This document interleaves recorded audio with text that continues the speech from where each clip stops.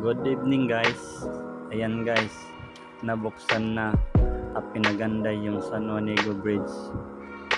Ang San Juanico Bridge ay pinatayo ni President Ferdinand Marcos Sr.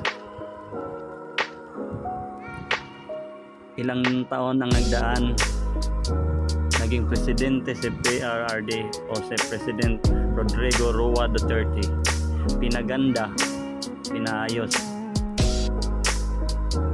hanggat bumaba na si President Duterte pinagpatuloy pa rin yung project na yan na para pailawan guys sa panahon ngayon ni President Ferdinand Marcos Jr. ay nabuksan na yung pinaganda ni President Duterte na San Juanico Bridge at ngayon guys nabuksan na ang pinakamagandang tulay sa buong Pilipinas ang San Juanico Bridge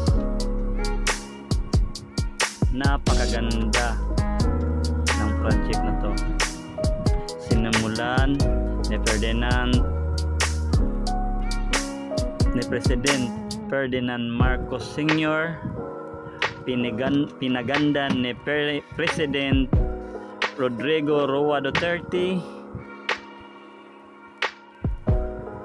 Ngayon binuksan ni President Ferdinand Marcos Jr. napakagandang proyekto guys. Ayan. Maraming maraming salamat sa inyo.